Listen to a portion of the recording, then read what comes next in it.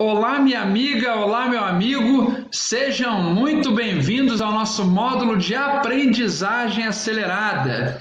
Esse módulo foi criado para auxiliar você a conseguir mais resultados com seus estudos, para que você consiga desenvolver técnicas e habilidades de reter a informação, Muitas vezes a pessoa ela treina, ela estuda muito, mas acaba não guardando essa informação. Nós vamos ver aqui algumas ferramentas, algumas táticas e até mesmo controle emocional para você conseguir resultados. E claro que eu não vou abrir mão também de falar de alimentação e do seu sono, porque são vários elementos que vão fazer com que você tenha realmente o resultado que espera e alcance a vaga desejada. Então não adianta só você estudar, não adianta você ler, não adianta você trabalhar o conteúdo se você não souber como reter essa informação. Isso que nós vamos conversar aqui de forma bem objetiva, com muitas técnicas interessantes, desde a preparação, desde o planejamento até as táticas efetivas. Eu sou o professor Guilherme Miziara, eu trabalho no SES há cinco anos e sou professor de comunicação e de aprendizagem há 13 anos. O meu doutorado, inclusive, é na área de educação, para que eu consiga realmente atender da melhor forma o meu aluno e fazer com que ele guarde a informação para aplicar não só no mundo corporativo, mas também na vida pessoal. E o pessoal do SES me chamou para eu poder atender você nesse módulo tão interessante, para que eu faça exatamente isso, fazer você reter a informação que é passada, que você estuda. Eu já treinei mais de 800 professores em como dar aulas e fazer com que os seus alunos retivessem a informação e conseguissem resultados expressivos. Então aqui eu só vou fazer o caminho inverso. Eu vou mostrar para você como reter a informação independentemente da forma como você a receba. Nós vamos falar de canais de aprendizagem, vamos falar de vários elementos importantes e certamente eu vou trazer muitos elementos do meu doutorado para auxiliar você nessa caminhada. A ideia é conduzir você para que você consiga realmente aplicar tudo o que eu disser, não ficar aqui na teoria, mas realmente aplicar para conseguir estudar e conseguir qualidade e bons resultados na sua prova. Então vem comigo, vamos trabalhar aqui durante duas horas para mostrar como essas coisas funcionam e o que e como elas acontecem. Bem, como falado, aqui nós vamos falar de aprendizagem acelerada. Eu sou o professor Guilherme Meziara e tenho certeza que você vai gostar muito desse módulo, que ele vai misturar a parte de motivação com técnicas, estudos e pesquisas para você ter o resultado que deseja. Então aproveite, vem comigo, vamos trabalhar juntos. Eu quero que você não sinta o tempo passar, porque se isso acontecer, significa que você está retendo a informação de forma leve e interessante. Então, eu já me apresentei para você e agora eu quero só destacar um outro ponto, perdão, um outro ponto que a gente, a ideia aqui é trabalhar para atender cada pessoa, né? trabalhar para atender cada pessoa, independentemente do seu estilo de aprendizagem, independentemente da sua condição financeira, independentemente do lugar onde você estuda, em qualquer lugar do Brasil e do mundo, eu vou trazer várias alternativas, várias possibilidades para você estudar e conseguir resultados expressivos mesmo. Então, qualquer que seja a sua dificuldade, qualquer que seja a sua condição, eu vou falar para todas as pessoas, vou dar vários caminhos, vários canais de aprendizagem para que você consiga retorno. Então, vamos falar de comportamento humano e como eh, eliminar essa ansiedade, essa dificuldade que limita você muitas vezes na hora de fazer uma prova. Você tem tudo na cabeça, estudou muito e acaba não conseguindo o resultado. E claro, nós temos que respeitar aqui as características de cada pessoa. Né? Cada pessoa estuda de uma maneira, cada pessoa consegue um resultado diferente de uma maneira. Porque tem gente que fala assim, não, porque o primo do meu amigo estudou só uma hora por dia e conseguiu o resultado, conseguiu a vaga conseguiu aprovação, não sei, né? Diz assim, mas será que o seu amigo, o, o, primo do seu amigo era uma pessoa realmente especial? Será que ele era muito dedicado ele só falou que estudava uma hora? Será que aquela informação é verdadeira? E será que você tem a característica desse amigo do seu primo? Ou do primo do seu amigo?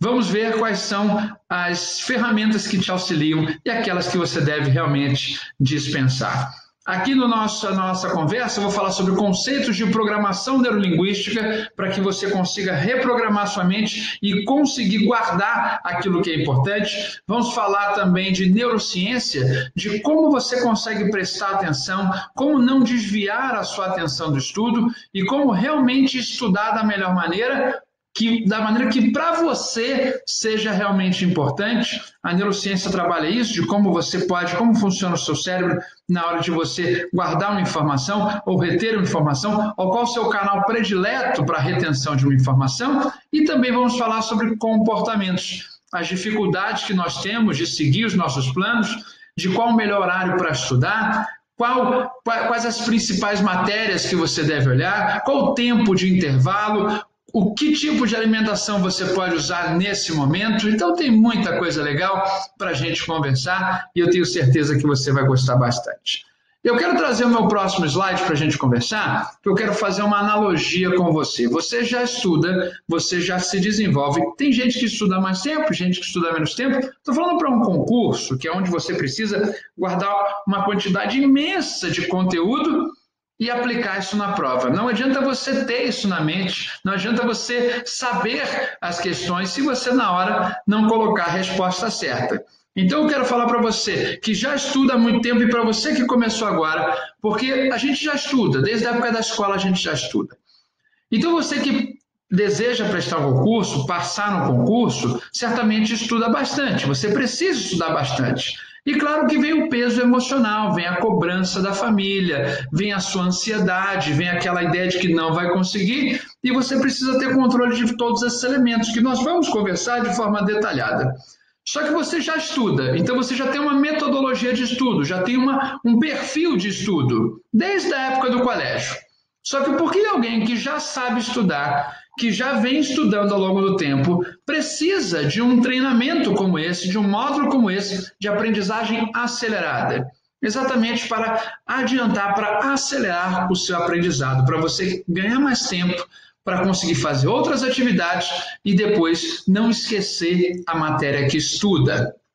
E eu quero fazer uma analogia com você para a gente conversar. Então, você já estuda, está no módulo de como estudar com qualidade. E a analogia que eu quero fazer é com uma piscina, ou seja, uma pessoa que já saiba nadar, que também precisa entrar numa aula de natação. Porque você pode pensar assim, mas eu já estudo há muito tempo, eu já sei como é que é, eu aprendi no dia a dia, eu tenho minha metodologia, e eu quero mostrar que existem técnicas ainda melhores para você que a gente vai conversar. Deixa eu dar um exemplo para você mesmo com a sua experiência, é interessante que você assista essa aula. Não é uma aula para iniciantes somente, é uma aula para pessoas que já estudam há muito tempo três, quatro anos. Então você fique muito tranquilo já participar dessa nossa aula. A analogia que eu quero fazer a você é que a gente sempre pode fazer melhor. Eu, por exemplo, eu, eu gosto sempre de ilustrar com essa história, quando eu falo de aprendizagem, de educação, como eu falei, meu doutorado é na área de educação, e falo de retenção do conteúdo, de qualidade da informação, eu já sabia nadar. E um amigo meu uma vez falou assim: vamos entrar numa aula de natação? E eu falei: não, não vou entrar porque eu já sei nadar. E ele falou assim: pô, vamos lá, para você é, me ajudar, para a gente nadar junto. E eu aceitei. Bem, cheguei na aula de natação, o professor falou assim: falou assim você sabe nadar? Miziara, você sabe nadar? Eu falei: nado há 15 anos. Ele falou: nossa. Então você é uma pessoa muito experiente? Falei, muito experiente. Você aprendeu a nadar com quem? Falei, não, aprendi sozinho, aprendi no meu dia a dia. Ele, ah, entendi. Então deixa eu te pedir um negócio. Vou pedir para você entrar na, na piscina e nadar até o outro lado. Pode ser? Falei, claro. Não sei se você já praticou natação, quando você está muito tempo parado, ou se você aprendeu sozinho, o professor fala para você fazer isso, para ele observar as suas habilidades. E foi o que eu fiz. Eu sabia nadar, nadava há 15 anos, nadei de um lado até outro. Quando eu cheguei na outra margem, saí um pouco cansado, mas fiz o meu melhor. E o professor falou assim: Olha, Mesiara, a gente tem que conversar algumas coisas importantes. Falei, por favor. Ele falou: Sabe qual é o seu maior problema? Falei, qual? O seu problema é que você está confundindo nadar com sobreviver ao meio líquido. E são coisas muito diferentes. E eu fiquei muito chateado, porque eu nadava há 15 anos. Eu falei, como assim? Ele falou: não, não, não. Se você se entende se arrastar na água como nadar, você nada mas tecnicamente você é horroroso. O que eu quero dizer é que eu fiquei muito chateado quando o professor falou isso, mas isso pode acontecer com você, estudante. Pode acontecer com você que estuda 8, 10 horas por dia e no dia seguinte não lembra de uma informação.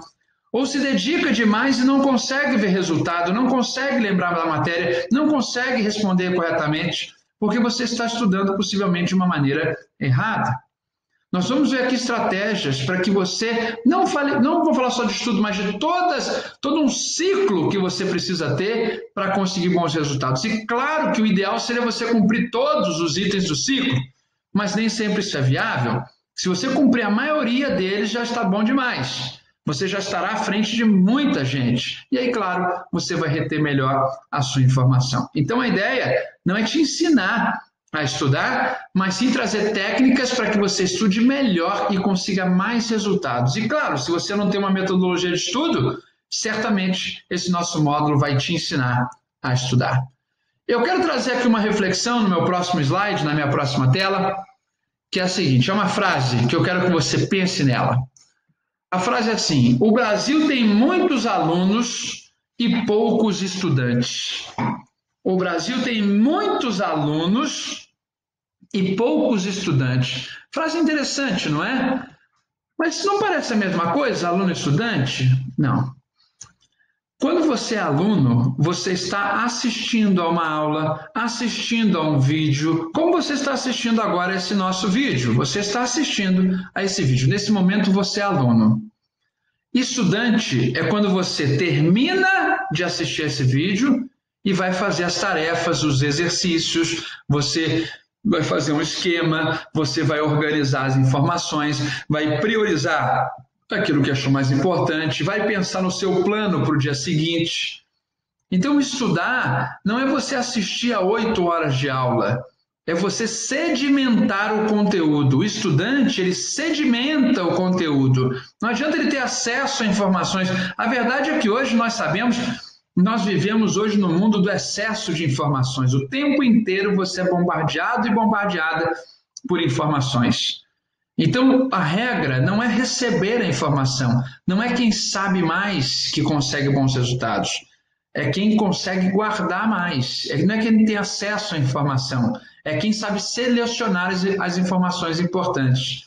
Então, quando eu falo aqui que o Brasil tem muitos alunos e poucos estudantes, é que muita gente assiste a muitas aulas mesmo, mas acaba não estudando, acaba não tendo um plano de estudos para conseguir o resultado. Então, qual matéria a pessoa vai pegar depois? O que, ela vai é, trabalhar depois que ela assistir a aula? Como é que ela vai guardar aquele conteúdo? Porque se você assiste direto a oito horas de aula, a chance de você esquecer as coisas é enorme, é gigante, porque você não estudou. Então, o que vai garantir o seu entendimento das coisas é o estudo, não é só ser aluno, não é só ouvir a aula, não é só assistir a aula, é depois estudar. Isso acontece, claro, serve para a escola, serve para a faculdade, serve para a universidade e para o pós-doutorado, para qualquer elemento, para qualquer atividade acadêmica e estudo. É a pessoa que quer passar no concurso tem que estudar, não é só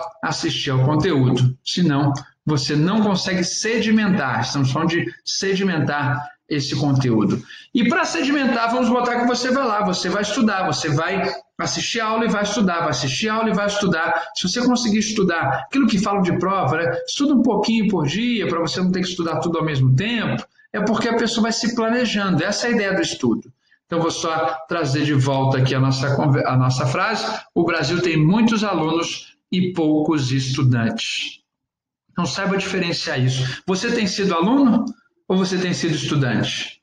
Você tem visto a matéria ou você tem estudado a matéria? Você vai lá, busca, vai na internet ou você só escuta a aula? Porque se você só escutar a aula e só, ou só assistir a aula, certamente um, alguém, algum estudante vai passar à sua frente.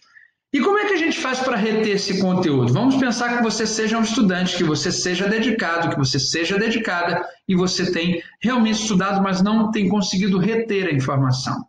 Como é que a gente retém a informação? A gente retém a informação por dois itens, por dois, duas, duas, de duas formas, de duas maneiras a gente consegue reter a informação. Então, nós temos duas formas, são elas: a emoção e a repetição. Então, como é que você guarda as coisas? Você guarda ou pela emoção ou pela repetição. Por isso que quando você estuda, quando você olha várias vezes aquilo, você acaba lembrando, porque você fez pela repetição. Isso é uma forma. Dizem, tem um ditado que diz que a repetição é a mãe da, da aprendizagem. A repetição é a mãe da, da aprendizagem. Por quê? Porque de tanto repetir, você acaba realmente conseguindo mais resultado, você acaba é, lembrando como faz. Isso acontece com qualquer coisa que você faça. Certamente, na décima vez que você fez alguma coisa, foi melhor do que a primeira vez que você fez.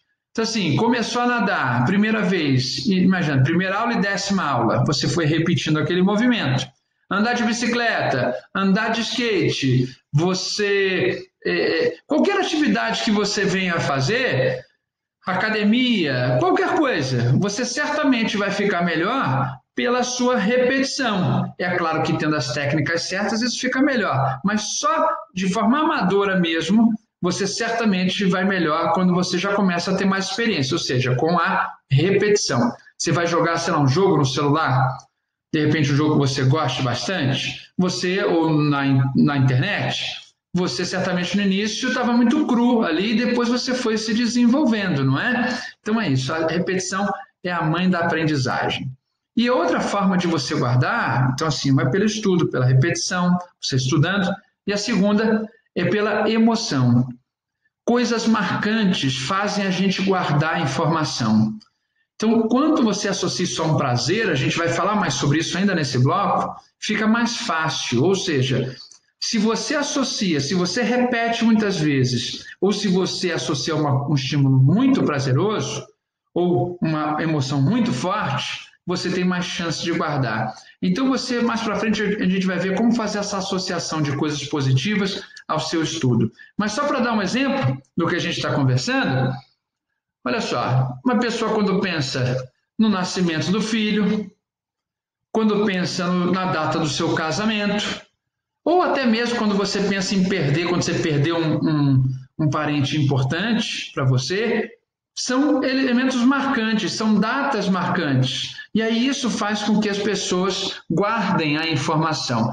Então, quando nós temos coisas muito fortes, muito marcantes, nós guardamos a informação. Então, as duas formas que você tem para reter o seu conteúdo, ou algo muito marcante, aquele dia que você se decepcionou com alguma coisa e foi lá estudar e leu tudo e você vai guardar porque a sua cabeça estava muito, estava tenso com aquilo e você queria passar no concurso de qualquer jeito, era uma forma, e outra pela repetição. Na maioria dos casos, quando a gente fala de concurso, a gente fala de repetição, de estudo, de treinamento. Mas, claro, que os aspectos emocionais também estão envolvidos. Então, emoção e repetição para você guardar o seu conteúdo. Deixa eu avançar na nossa conversa, quero trazer mais um ponto importante. Olha só, quando você pensa em estudar, quando você pensa em passar num concurso, estou pensando na ideia de passar num concurso, mas pode ser no, no, exame de ordem, pode ser qualquer tipo de concurso, pode ser que você já seja concursado, esteja tentando aí um novo concurso. Então, qualquer concurso, eu preciso lembrar que a estrada é longa. A estrada é realmente longa. Você olha, parece que ela não tem fim, não é? Ela está lá no horizonte. Nossa, a estrada é muito longa. Mas eu quero que você pense nessa estrada de uma forma diferente. Essa estrada é realmente longa, vou voltar aqui na minha tela, mas olha só, ao invés de pensar que isso é o que você vai ter que caminhar, pense que a caminhada até aqui não foi fácil. Ou seja, eu quero que você mude a sua perspectiva e agora esse é o caminho que você já percorreu. Então não é o que você vai percorrer, esse caminho você já percorreu. Olha quanta coisa você já andou. Olha quanta coisa você já fez para chegar até aqui. Então eu quero que você pegue, que você olhe os livros que você já leu, pegue os cadernos que você já fez anotações, as canetas marca-texto que você já utilizou. Olha quanta coisa você já fez. Então não abandone essa estrada. Tudo que você fez até aqui é realmente relevante. Quando você olha parecendo que é uma coisa lá para frente, a, a estrada é longa. Mas quando você lembra que você já caminhou até esse ponto, você entende que você já caminhou bastante. Então não é hora de desistir, você precisa persistir, precisa continuar. Então, quando a gente fala de estudo, tem que lembrar sempre disso, que você já percorreu um bom caminho. E desistir agora será abrir mão daquele seu sonho, daquele seu objetivo, daquele seu desejo. E do seu propósito, muitas vezes. Vamos falar de propósito, porque tendo propósito, as coisas ficam muito mais simples e mais fáceis, porque a gente se dedica ao que a gente quer. E você pode falar assim, entendi, Misiara, então eu tenho que fazer isso, eu tenho que associar eh, a parte da, da repetição e da emoção. Eu entendo que eu tenho de, preciso de técnicas novas, porque eu fui estudando no dia a dia, não tive uma instrução, ninguém fez um curso como esse, um módulo como esse, para me ensinar como estudar. E entendi esse ponto. Mas assim, tem um amigo meu que ele tem memória fotográfica. Você fala, ele lembra na hora, ele, ele guarda tudo. É impressionante a facilidade que esse cara tem. Então eu não tenho dom, eu não tenho essa facilidade. Tem gente que olha o artigo e lembra na hora. Eu não tenho, não é uma característica minha. O que você vai ter que fazer? Vai ter que estudar mais. Vai ter que estudar mais, que eu digo, não infinitamente, mas mais porque você vai precisar ter um resultado similar a essa pessoa que tem uma memória fotográfica, eu quero dizer para você que a variável está na sua dedicação e não no talento. Então, esse é o próximo tópico que eu quero conversar com você. Quando a gente fala disso, de alguém ter uma facilidade, que relembre tudo, nossa, tem um amigo meu que lembra o nome de todo mundo, que lembra todos os artigos, beleza, pode ser um talento. Só que é o seguinte, na hora de passar num concurso, você acha que prevalece o dom ou o treinamento? O dom ou a dedicação? Eu posso garantir a você, com base em muitas pesquisas, eu vou citar aqui só dois livros. Um chama-se Garra e outro Desafiando o Talento. São bons livros depois para você olhar com calma. Se você acredita que não tem o talento. Eu quero dizer para você que a variável está na dedicação, no que você vai fazer e na, na dedicação, na quantidade de esforço que você vai imprimir naquela atividade. Por exemplo, vou pegar um exemplo aqui de academia. Academia tem gente que tem uma genética melhor que a outra, que é da outra pessoa. Normalmente, genética é a pessoa que vai à academia. Você já viu isso? A pessoa tem uma genética boa. O cara vai todos os dias da semana e você vai uma vez por semana. Então, normalmente é isso. Mas vamos botar que todo mundo vá junto e vocês façam seus treinamentos específicos. E o seu amigo tenha realmente um resultado melhor que você. O que, é que você vai ter que fazer para ficar com um corpo similar ao dele? vai ter que malhar dois meses ao invés de um mês. O que ele conseguiu em um mês, você vai ter que conseguir em dois ou três. Ou seja, vai ser a sua dedicação que vai fazer a diferença. Então, se você não tem o talento, vai ter que se esforçar mais. Isso acontece com atletas. Eu vou trazer muitos exemplos de atletas que são pessoas realmente determinadas e que praticam e que treinam para que, pela repetição, consigam bons resultados e não exatamente um talento da pessoa. Os grandes atletas além de alguma coisa de talento, eles são extremamente dedicados. E eu quero que você seja um atleta do estudo, que você se dedique ao estudo. Eu vou comparar você ao atleta do estudo pela sua dedicação, persistência, determinação e foco. Só para trazer um exemplo nesse sentido, porque a dedicação, porque o treinamento e não exatamente o talento, porque você pode conseguir resultados muito mais expressivos do que alguém que tem o talento, alguém que tem esse dom. Vou dar um exemplo aqui de dois profissionais, dois jogadores de futebol, estão aposentados no momento, mas eu vou, por isso eu fico à vontade de comentar. Aqui o Romário e o Cafu. Se você tivesse que escolher honestamente para jogar no seu time na época áurea dos dois, quem você escolheria pelo assim, quem seria o talento e quem seria a dedicação? Você concorda que o Romário seria o talentoso? Romário falava que não gostava de treinar, mas ele tinha muito talento mesmo, nasceu com isso. O Cafu, ele teve muita dificuldade de entrar no clube. Para você ter noção, ele demorou nove vezes até entrar no clube. Ele tentou nove vezes passar pela peneira, que é a prova lá para você entrar, é, é, o teste que você tem para entrar no clube. O Cafu reprovou nove vezes. Eu quero que imagine você fazendo o concurso que você deseja. Chegasse em casa e falasse assim: olha, reprovei pela quinta vez mas eu nasci para fazer, para exercer essa função. A sua família poderia duvidar de você, até mesmo você poderia duvidar de você. Mas o Cafu ele falou assim: não, eu nasci para ser jogador de futebol. Ele insistiu. Ele falou que o que o ajudou muito foi o apoio da família. Nós sabemos que muitas vezes as famílias não apoiam. Mas no caso dele, a família apoiou, disse que ele tinha que fazer aquilo, até porque ele não tinha muitas opções naquele momento. E beleza, e o Romário não treinava, tinha o talento, foi se dedicando, e o Cafu, com todas as suas limitações, alguém que é reprovado nove vezes não pode ser a pessoa mais talentosa do mundo, você concorda? Ele continuou treinando para se destacar. O que eu quero mostrar para você é que, independentemente do seu talento, a sua dedicação faz diferença. Então, se nós pensarmos na Copa do Mundo, o maior torneio, o maior desejo do, do, jogador de futebol é vencer uma Copa do Mundo, participar e vencer, sendo ideal. Se a gente pensar nisso, o Cafu, oh, perdão, o Romário foi campeão em 1994. Jogou a Copa, foi campeão em 94. Legal. Com todo o seu talento. O Cafu, com toda a limitação que ele tinha, e dita por ele, não sou eu que estou dizendo que ele, é, ele tinha limitação, dita pelo Cafu, que ele era extremamente limitado com dificuldade, mas tinha um esforço físico, ele tinha imprimir uma força física muito grande. O Cafu, que não tinha talento, que foi reprovado nove vezes, jogou três finais de Copa do Mundo, o único jogador da história a jogar três finais de Copa do Mundo, foi campeão em 94 e 2002, foi vice-campeão em 98. E, para completar, ele foi o capitão da seleção. E de verdade, se você perguntar para qualquer pessoa que acompanhou essa geração, ou se você acompanhou essa geração, ninguém discute que o Romário tinha mais talento do que o Cafu. Só que em termos de resultado, no maior torneio, no maior sonho dos jogadores de futebol, o Cafu teve mais resultado que o Romário.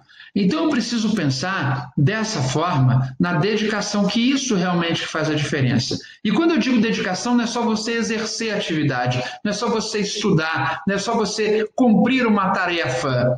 Esse jogador, ele gostava de jogar. Os jogadores que são destaque, eles gostam daquilo. Eles trazem, tiram aquela parte negativa do que tem que ser feito para a parte positiva. E você precisa fazer isso no estudo. Por exemplo, não adianta você chegar para treinar, para você estudar, assim. Comparando a uma academia, a pessoa que vai para a academia assim. Aí vai lá, fala, ah, cara, hoje fiquei três horas na academia. É, ficou no celular, ficou dormindo, fez exercício ali, conversou com todo mundo, malhou a língua, né? Malhou a língua. Aí você conversou pra caramba com todo mundo. Aí fala, não, fiquei três horas na academia. Então você está se enganando, é, você está se auto-boicotando, é um boicote em você mesmo. Então você é, se atrapalhando, não é? Você acaba mentindo para você mesmo, para você mesma. Então, já que você tem que fazer essa tarefa, eu não tenho a fórmula mágica para tornar essa tarefa interessante. E tem dias que a gente não está bem mesmo. Mas o que, que, eu preciso fazer? Eu preciso pensar em como conseguir é, resultado em como conseguir me alegrar com essa atividade. E eu vou buscar possibilidades. A ideia da programação neurolinguística. A ideia de você olhar aquilo como um problema, olhar como uma coisa positiva, porque isso vai depois auxiliar você a ter uma vida melhor, a auxiliar a sua família, auxiliar as pessoas próximas a você, conseguir auxiliar a nossa sociedade. Então, existem várias possibilidades para você se animar. Então, ao invés dessa imagem, quando você for a uma academia, no caso, ao estudo, se eu estou fazendo a comparação com uma academia, eu quero que você pense nessa aqui, ó. De você se divertindo com o estudo. Aí você pode falar assim, Mesiara, calma aí. Me divertir estudando, tá difícil isso. Você tem que vibrar com o estudo. Você tem que falar, pô, como é que eu vou decifrar isso? Como é que, nossa, que coisa interessante. Você tem que armazenar essa informação pela repetição ou pela emoção. Quanto mais feliz você estiver, quanto mais relaxado você estiver, maiores as chances da retenção de informação. Senão você libera cortisol, é um hormônio que acaba atrapalhando a sua concentração, ele não ajuda, ele, você fica mal com ele e você não libera, você não consegue liberar endorfina, que é aquela que você gosta, que você se sente satisfeito, do prazer, de uma coisa prazerosa. Então, quando pensar no estudo, Lembre do seu propósito, onde você quer chegar. Porque se você entender que é só uma tarefa repetitiva, não vai dar certo. Eu preciso que você pense cada dia, dia a dia, quais são as vantagens de você estudar. Não só para ter o conhecimento, mas também para conseguir alcançar o seu resultado no concurso que deseja. Então, estamos preparando o terreno, estamos falando de coisas muito importantes para você preparar, se preparar para conseguir o resultado que deseja. Vamos depois falar mais de mudanças de hábito e depois entrar nas técnicas falando de controle emocional, de estudo, de técnica, de estratégia e várias outras ideias, vários outros elementos que vão auxiliar você a conseguir estudar e reter a informação. O tempo inteiro vamos falar de retenção de informação e não somente ser aluno, mas ser estudante e guardar o conteúdo para aplicá-lo da melhor maneira na prova. Daqui a pouco a gente volta.